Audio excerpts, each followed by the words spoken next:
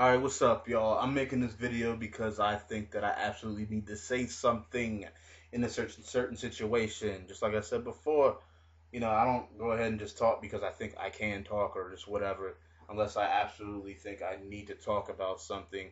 And the only reason that I feel that I need to talk about this is because my name is always brought up when cue ball is brought up in videos of recent um, it's like I'm associated with him. Uh, so yeah, let me uh, go ahead and get this shit going. Now, everybody knows I used to be pretty cool with uh, with cue ball. I used to talk to him on a daily basis, yada yada, whatever. Uh, a lot of people notice, but cue ball used to come to me on a very regular basis to talk to me about several things to get my perspective on it because um, you know, he, he thought what I had to say was of merit. You know, um, he thought that I was a knowledgeable person when it came to things of common sense, gaming, whatever. Uh, certain situations, shit like that. But um, you know, and recently, uh, he has made a complete 180. Now, I'm not talking about the PS3 for 360 thing. I could care the fuck a le- fuck less about that. I could care less about that. It's not my shit. It's not my money. He is not me. he can do whatever he wants. I don't care. All right, it's not shit is not about that whatsoever. This is about all the shit that he's saying recently, making stupid, making stupid racist comments, not just in text form but in video all right, and being serious about it. You know, not just playing it off or joking or whatever. This dude is literally being serious about this shit. Uh, and you know, I don't endorse that shit, man. I am not affiliated with that shit. Uh, and I strongly feel that anybody that does is no better than fucking he is. And I'll say this shit right now. Uh, you know, um, Asian Asian Kid One, I believe, uh, games with cue ball on on live. He probably doesn't anymore uh, as of recent, but you know I'm gonna ask him. I'm gonna see if he does, and if he still does, you know he talks to him and shit. Then I don't want to fucking, uh, you know I don't want to converse with uh, Asian Kid or anybody that does affiliate himself with him anymore because you know. I mean, uh, I'm black I don't want to be around shit like that. You know? That's if that's amazing or shocking to you, I mean it shouldn't be. but you know, like who who who wants to be around people that that are, you know, saying racist shit and it's not cool. Uh, it's not like they're saying it in a comedic fashion. You know, they're dead ass serious about this shit and uh, you know he he made certain comments in his video talking about oh I can call him nigger because I can and it's that easy. I, I do it. I said call him nigger to piss him off like what kind of shit is that man? What kind of fucking bullshit is that? Like I mean honestly man if you if you talked to Q um what the fuck are you doing? Like literally like what the hell are you doing Uh, uh, unless you're a racist yourself, then what the fuck? Like that, this shit is inexcusable. Plain and simple, excusable. This shit is just not cool. And uh, you know, there was uh, this dude named Jazz I, I subbed to, um, you know, not too long ago. Uh, and I believe he games with cue ball pretty much all the time. The dude's like, I don't know how old he is. He looks really young. I know cue ball's a lot older than he is. I'm pretty sure. And you know, um, and it's, it's, it's just it's just funny that he's sitting there playing with people that are younger than him, and I'm pretty sure he's talking that way on live. You know, I'm pretty sure he's doing that shit because you know he used to talk that way on PSN. Um,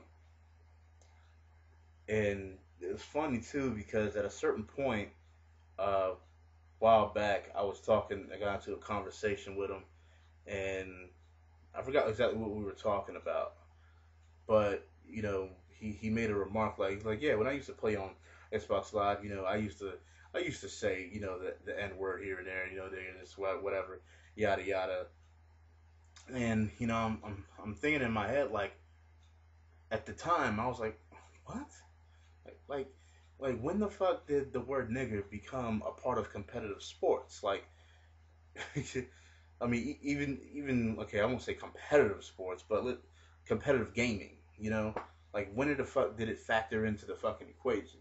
When did that happen?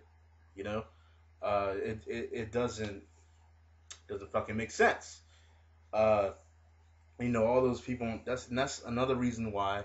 I mean, people can fucking hate on what I'm fucking about to say um, all they want. But it's a simple fucking fact. You get on Xbox Live, you hear it all the fucking time. I get on PSN, I don't hear it that often at all. There's there's times when I go months without hearing that shit. But you know, you get on Xbox Live, you got all these people saying nigger, nigger, nigger. It's like what the fuck? You hear it all the fucking time.